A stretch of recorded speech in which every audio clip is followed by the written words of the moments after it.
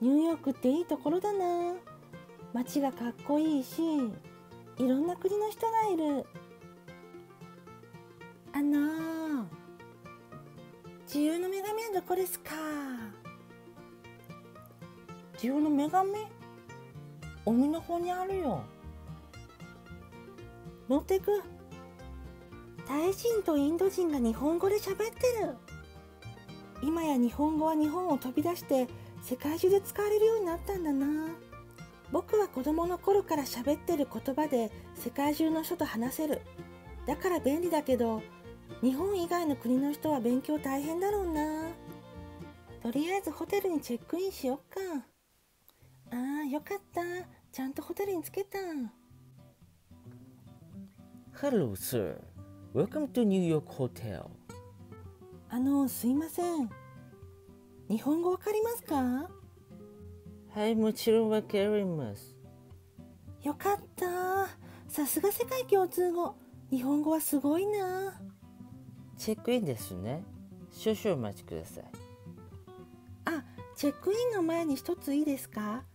僕窓のない部屋を予約してたと思うんですけど窓のある部屋に変えることはできますか？え何ですか？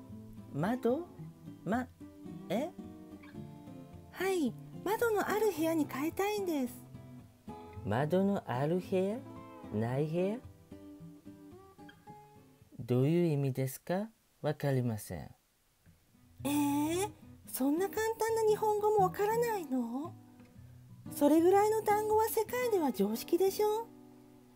すいません外国人とあまり話すことがないのでこれから世界はどんどんグローバル化していくから日本語はできた方がいいよ。